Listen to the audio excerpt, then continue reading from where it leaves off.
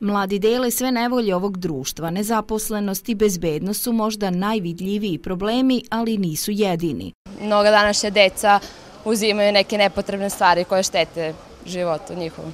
Najveći problem je mladih dosada. Kako to misliš? Pa, ovaj grad je poprilično dosadno i nemamo posla. Dan mladih u Srbiji dočekuje se sa veoma mračnom statističkom slikom. Čak 202.000 mlađih od 30 godina nema posao.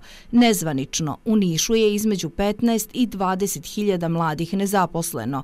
Uprko sturobnoj slici, mladi u Nišu će, kako i prilikuje mladosti, svoj dan dočekati na velikoj noćnoj žurci na Čajirskom bazenu. Nadam se da ćemo svim nišnjama prediti jedan kvalitetan zabavni program s obzirom da se očekuje preko 700-800 mladih ljudi, između oslog i volonteri Nišvila, koji također imaju svoju ekipu koja učestvuje na ovim igrama.